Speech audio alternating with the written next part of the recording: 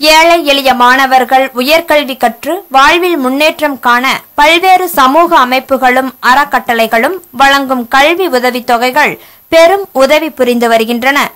மாணவ மாணவிகளின் வாழ்வில் ஒரு திருப்பு முனையை ஏற்படுத்துபவையாகவும் இந்த நல உதவி அமைந்திருக்கிறது.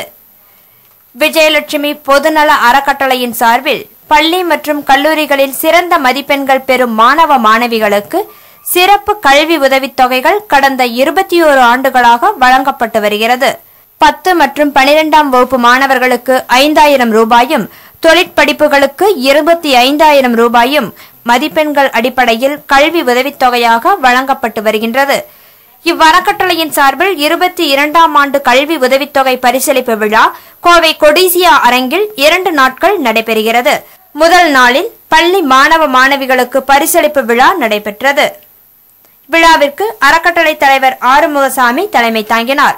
சிறப்பு விருந்தினராக முன்னாள் காவல்துறை தலைவர் நடராஜ் கலந்து கொண்டு பேசும்போது தற்போது உதவித்தொகை பெறும் மாணவர்கள் பின்னாளில் தங்களின் வருமானத்தின் ஒரு பகுதியை ஏழை எளிய மாணவர்களின் கல்விக்காக செலவிட வேண்டும் என்றும் கல்வி தானத்தை தருவதன் மூலம் இறைவா புகழை பெற முடியும் எனவும் அறிவுறுத்தினார். மேலும் சிறந்த மதிப்பெண்கள் பெறுவோர் அத்துடன் நின்று விடாமல் தொடர்ந்து உழைத்து நன்மதிப்பெண்கள் பெற வேண்டும் என்றும் குறிப்பிட்டார்.